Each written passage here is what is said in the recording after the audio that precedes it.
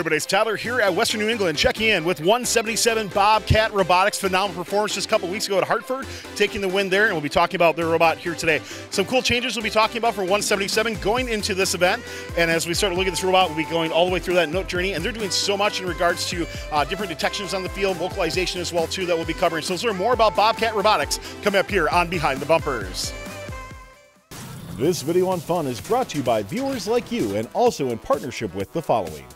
AndyMark is your one-stop shop for all your robotics competition needs. Celebrating 20 years of quality robotics parts and superior service, AndyMark employees have over 200 years of first-team experience. From mechanical and electrical products to tools and hardware, head on over to andymark.com for high-quality and affordable solutions. Support Fun's content creators when you sign up for a membership on YouTube Join. You'll get access to special perks like emotes, loyalty badges, and Fun members will even get early access to our scheduled videos and more. 100% of this revenue will go back to our correspondents to help recognize their efforts. Click the join button in any YouTube video to pledge your support. Well, let's start out from bottom up. Talk about the uh, intake. You're doing a couple really cool things that we want to highlight there. So walk me through what you have, how you came up with it, and let's start talking more about it. Yeah, so we actually iterated this intake a bunch of times before the season actually started. We went through, and once we saw the game, we really decided on like four different designs and we went through and tested all of them and this one ended up working the best. Um, it's one of my favorite parts of the robot actually because we have um, uh, Mecanum wheels in the bottom here on this um, front roller, which helps um, guide the note into our shooter. And um, as you can see, there is all the Mecanum wheels, and then here we have um, just plates that are 3D printed to kind of again guide that note in there. Um, we did change a couple things about our robot, like the trap mechanism, we used to have it so that the roller would actually change directions and pop a note up. We called it our Pop Tart.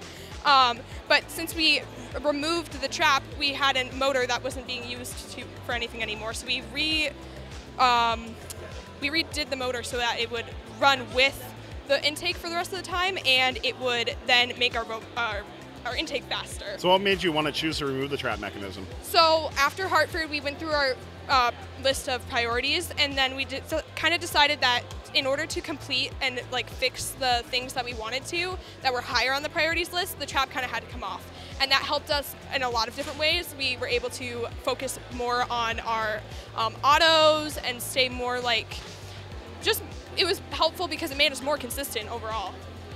Andrew, let's talk about this uh, thing called a spivot on your robot. Yeah. We're going to have to describe a little bit more uh, what that is. You know, teams always got different colloquialism for what their robots are, but talking about what the spivot is and why it's been so successful on your team. Yeah, so a spivot is um, our shooter pivot, which is a key part of our robot as it allows us to really aim from anywhere and score from anywhere on the field. And it's it's important that this stays a, as precise a mechanism as possible due to the nature of how the uh, speaker is designed. So we did that by using a cam to create tension on the chain that is that moves the shooter um, to, by separating the shafts, which keeps it as tight as possible at all time and eliminates as much backlash and like slop as possible. Okay. And you got a couple different positions uh, for this as well. I know we'll be talking more about the programming in a little bit, but from mechanical side, can you break it down for me? Yeah, so it uses a motor with like that goes through one of like a almost like a custom gearbox that will move a chain over here that goes around the that goes around a sprocket, which changes the angle. It's very precise. We, we even have an encoder on this, a direct encoder on the shaft that keeps the that keeps our uh, that keeps us informed with exact percentage or like exact uh, degrees angle, and it's very important as even a one or uh, one or even a half a degree shift could cause a, a note to miss. And I'll be diving more into that programming in a little bit as well too. But talk to me about this uh, shooter wheel configuration that you have. You know, when I talk to other teams, some are just running only wheels on one side, some are more even, about shaved down wheels. You're running a very interesting configure of having two completely different size wheels. Yeah. So as we prototyped and developed our shooter, we realized that having similar sized wheels would cause very little spin on it on a note and that would cause it to uh, flip over or tilt when it was in the air, just not creating a nice pa- uh, flight path of it. And this meant that longer distance shots were difficult and not as consistent. So we added larger wheels on one side to create to create more grip on that side and to really spin it. And an interesting part of that is the the smaller wheels on that side really don't touch the note and, and propel it. All of the momentum comes from the larger wheels and the smaller wheels just guide the note out and keeps it smooth uh, and flat uh, shot. Well, I think in a little bit we got to bring a note in, but let's talk about this uh, amp uh, combination here, Willow, as well too, and uh, how this all works together. And then, yeah, let's definitely bring a note in to showcase how this all works. Yeah. So um, a big part of our robot this year is that we wanted to be go under the stage, um, and that led to some problems based on like we had all these priorities, like I said before, and uh, we had to fit all of them into this small confined space. So what we did was we utilized the fact that we had a shooter motor already, and we made this. Um, can you we made this part coaxial, and our entire this um, roller here actually spins with our shooter rollers. So everything is connected only by this these belts and this shaft here on the bottom.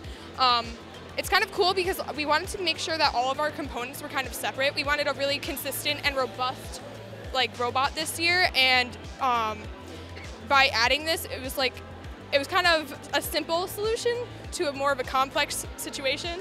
So yeah, it's one of a, a really cool part of it. Well, let's showcase off. Talk to me about uh, how it works, and if you can narrate just a little bit what's happening too, that'd be great. Yeah, um, I think actually, yeah. So our intake automatically stops once we get to this point in the robot, so it goes to a perfect position into the robot to then have our spin up and uh, the note just goes through the robot. Um, you want to just. So this doesn't actually like curve it down at all. It helps um, just propel it and then it like stops it from going out once it's in the amp. So it works better when there's like the amp there, but yeah, you get the idea. When you were analyzing uh, the crescendo game, what made you think about like having all this combined in one? Like in regards to like your objectives, that sort of thing. Yeah. Where did that come up? Yeah. Um. So like like I said, we have a priorities list, and I guess the the main priority, of course, is like in the beginning of the season, you want to drive. You want to be able to uh, move, and we kind of based off of that, we were like, okay, well, we want to be able to shoot in the speaker. Um, we want to be able to climb. We want to be able to do all these things. So. Um, like we said, our trap mechanism kind of got the boot, but that's because we had all these higher priority items that we wanted to showcase and then like make better overall.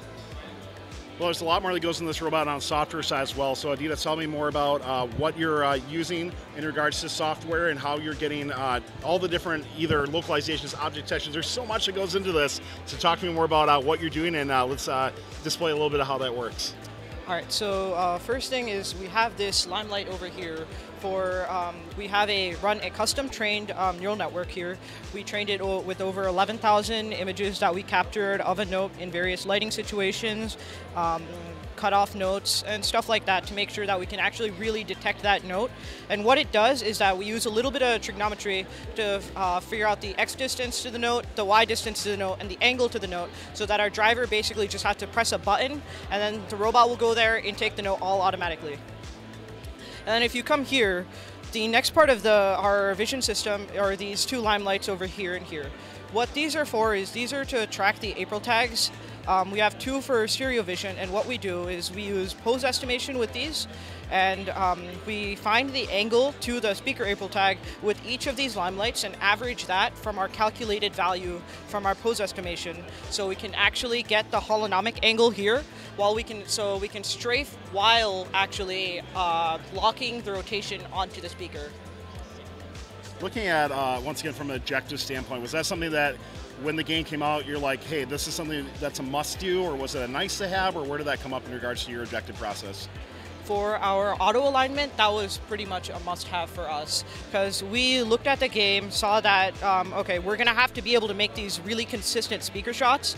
And because of the nature of the speaker, it's actually pretty hard to find a good spot to align and shoot consistently from various uh, positions on the field.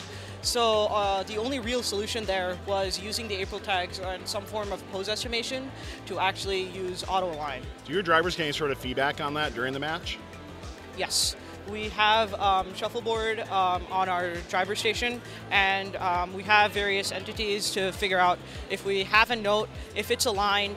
Uh, we also have rumble on the operator controller to um, uh, direct the operator if the note is actually ready to shoot. By the way, as, a, as an old time boomer, this is an awesome controller. I just want to say that, like, Yeah, love it. definitely. That's super cool on there. So, uh, anything else that you that you want to cover? I know we have a few other things that we're going to cover software wise as well.